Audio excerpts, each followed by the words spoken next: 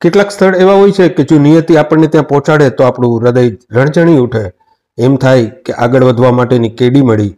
રસ્તો અંધારો હતો, ત્યાં દૂરથી દીવો દેખાયો. અંતરયાત્રામાં કંઈક સહાય મળી. એક નવીન આનંદની પીછાણ થઈ. આનંદ અને ચિંતનના અજવાળા વેરતી આ જગ્યા એટલે બ્રહ્માનંદ આશ્રમ. ગુજરાતના જૂનાગઢ જિલ્લામાં આવેલા ચાપાડા ખાતે આ બાળકોને જે તમે નિહાળી રહ્યા છો તે ઉત્તર પૂર્વ ભારતના પછાત અને આદિવાસી વિસ્તારોના બાળકો છે. એમનું જીવન ત્યાં ધૂંધળું હતું, એમની કારકિર્દીની કોઈ દિશા નહોતી.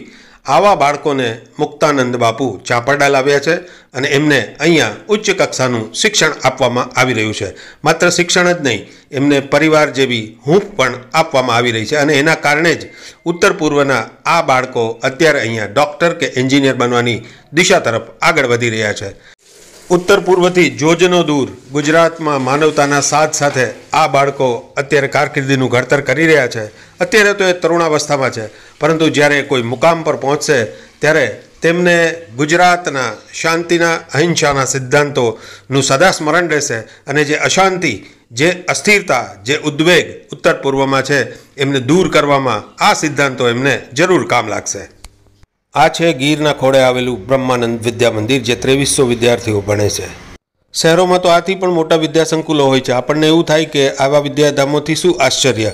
પરંતુ આશ્ચર્ય એટલા માટે છે કે આ ગીરના અંતરિયાળ વિસ્તારમાં બનેલું વિદ્યાસંકુલ છે કે જ્યાં શાળાઓની પણ ખૂબ ઓછી સુવિધા છે. ત્યાં પ્રાથમિક શાળાથી લઈ અને કોલેજ સુધીનો અભ્યાસ બાપુના સંકલ્પથી થઈ રહ્યો છે અને આસપાસના વિદ્યાર્થીઓને વર્લ્ડ ક્લાસ ફેસિલિટી મળી રહી છે.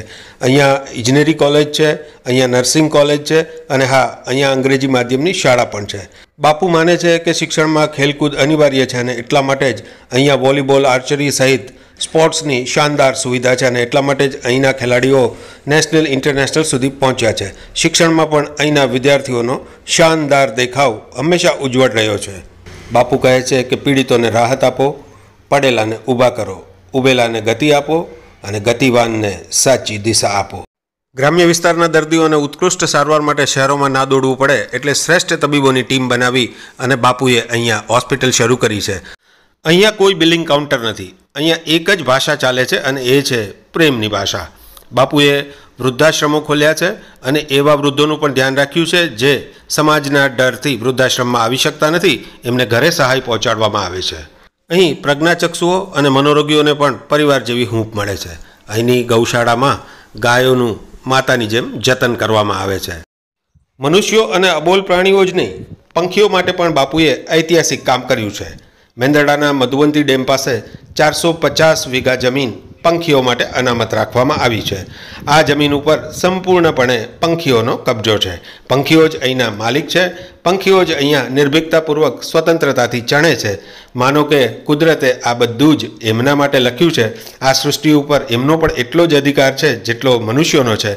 બાપુએ આ ચરિતાર્થ કરી બતાવ્યું છે અને હવે આગામી દિવસોમાં અહીંયા પક્ષી અભયારણ્ય બનવાનું છે અને તેના શિલાલેખ ઉપર લખાશે કે આ જગ્યાનો સંપૂર્ણપણે કબજો માત્ર ને માત્ર પંખીઓનો છે. બાપુ કહે છે કે ઈશ્વર એક જ ભાષા સમજે છે અને એ ભાષા છે પ્રકૃતિની. ગીરના જંગલમાં વસતા માલધારીઓના બાળકો અહીંયા ભણે છે અને જે અહીંયા નથી આવી શકતા એમના માટે નેસમાં પણ બાપુએ હંગામી શાળાઓ શરૂ કરી છે.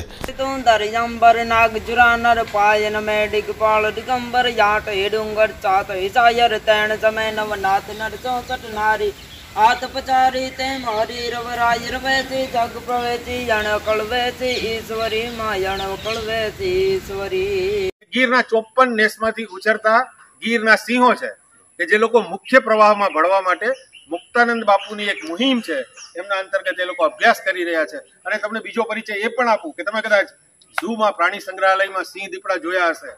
સિંહ દીપડા તો એમના મહેમાન છે. એમાંથી એક પણ વ્યક્તિ એવી નથી કે જેમણે સિંહ દીપડાને નજીકથી જોયા નથી. તો આવા કુમારીવાળા બાળકોમાં કમી માત્ર હતી શિક્ષણની. તેમને મેઇન સ્ટ્રીમમાં મુખ્ય પ્રવાહમાં લાવવાનું કામ મુક્તાનંદ બાપુએ કર્યું છે, આ સંસ્થાએ કર્યું છે.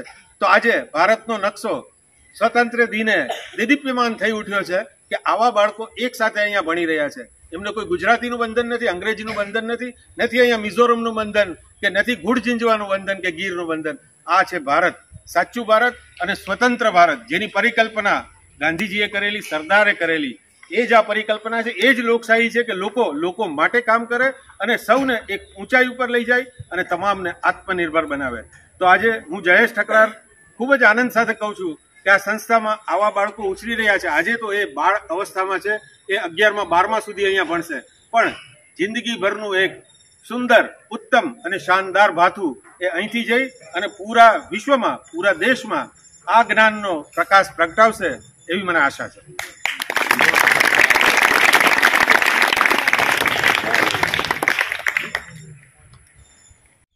બિલખા અને વિસાવદરની વચ્ચે આવેલી આ જગ્યા છે સુરેવધામ.